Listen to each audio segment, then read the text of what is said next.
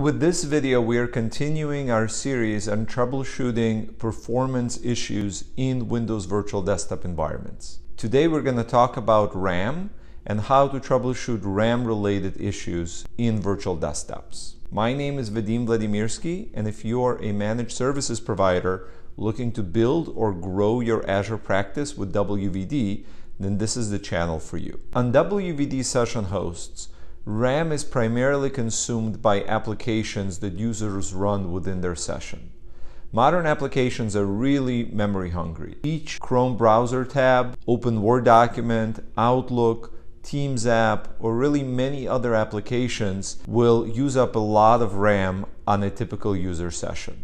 Now, using RAM in and of itself is not really a problem and is not going to cause any performance issues. As a matter of fact, the more data an application can load into memory, the faster it's going to be able to fetch this information, as opposed to having to go to disk and fetch it in a significantly slower way. However, once you have a lot of applications trying to compete for a limited amount of memory resources on a VM and use an exceedingly large amount of RAM, then you start running out of available free RAM capacity and the operating system has no choice but to put some of that usage into the disk, into the page file. So the thing that you really are looking for is not so much high memory utilization, although having high memory utilization is a likely indication that there may be a performance issue, but you're really looking for something called hard faults, used to be called page faults, which is the process that the operating system goes through when an application is expecting a memory page to be in RAM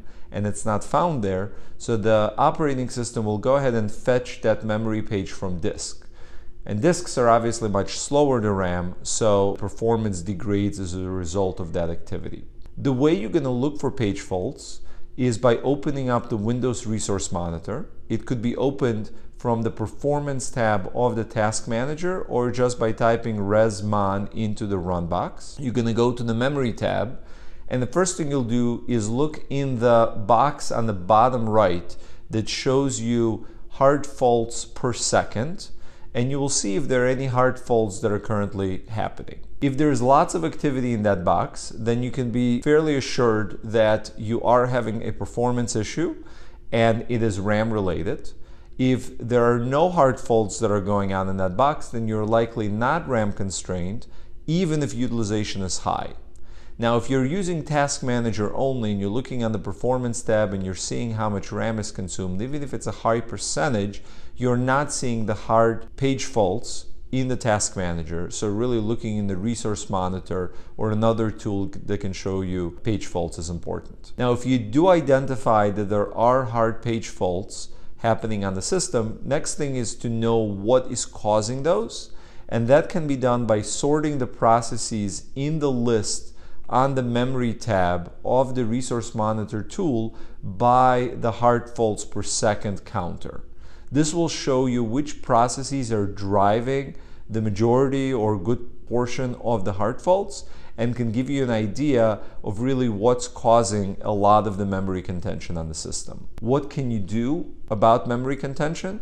Well, if the applications are using it up legitimately, then you either need to instruct users to close some applications or reduce the load on a particular session host VM. And this can be done just like with CPU by either reducing the number of users who are logging into a particular session host by setting up multiple session hosts and distributing the users across them, or by upgrading your VM instance to one with more RAM. Now, if you're using a generic purpose D series VM, where the number of gigabytes of RAM, which is four gigabytes, is assigned to each CPU core, what you can do if you're memory constrained and not CPU constrained, you can change your generic purpose D series VM to an E series.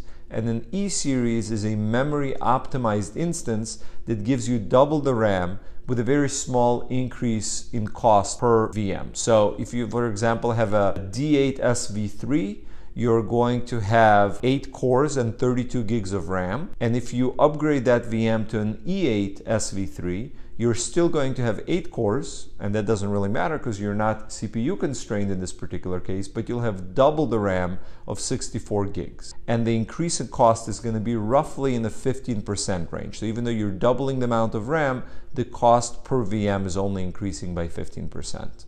So those are the two strategies you have to either lower the number of users by spreading them out across multiple VMs or by increasing the VM size you should also look for applications that are consuming excessive amounts of RAM because there could be a memory leak in a particular application. To solve the problem, you can either kill that particular process or sign out a particular user under whom the process is running.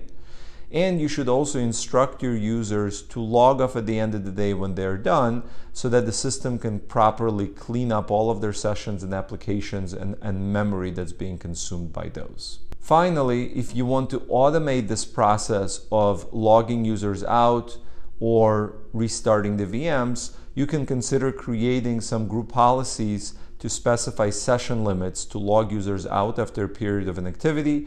You can schedule automatic session host reboots overnight so that users come into a new session host that is fully ready to go and has a clear memory in the following morning or you can use the auto scaling process that will automatically do that reboot and rebuild of the session host for you. As you can see, memory problems uh, can cause performance issues, but they should be fairly easy to identify with the Windows Resource Manager and they can be addressed in the ways that we've mentioned. If you want to learn more about additional performance troubleshooting strategies, go ahead and click on the link below to see the full write-up on all the available strategies.